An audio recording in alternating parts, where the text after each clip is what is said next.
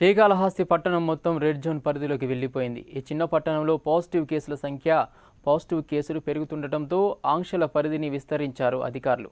శ్రీకాళహస్తి పట్టణం మొత్తం లాక్డౌన్ ప్రకటించడం జరిగిందని జిల్లా కలెక్టర్ నారాయణ భరత్ గుప్తా తెలిపారు. ఉదయం నుంచి ప్రజలు పట్టణ వీధుల్లోకి రాకుండా స్వచ్ఛందంగా ఇళ్ళలోనే ఉండాలని ఆయన ఆదేశించారు. మరోవైపు పట్టణ వీధుల్లో పోలీసులు సంచరిస్తూ పోలీసు వాహనాలతో గస్తీ తిరుగుతూ ప్రజల్ని ఇంటి నుంచి బయటకు రాకుండా చర్యలు తీసుకుంటున్నారు.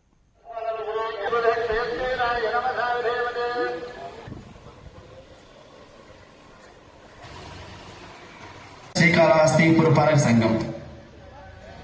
సడలింపులు లేవండి. ఎవరు బయటికి రాకూడదు. బయటకు వచ్చినట్లయితే మేము వచ్చేసి ఎవరైనా కూడా ఎటువంటి నిత్యావసర వస్తువులు కూడా హోమ్ డెలివరీ ద్వారానే సప్లై జరుగుతుంది. కన్సర్న్ అఫీషియల్స్ కూడా ఐడెంటిఫై చేయడం జరిగింది.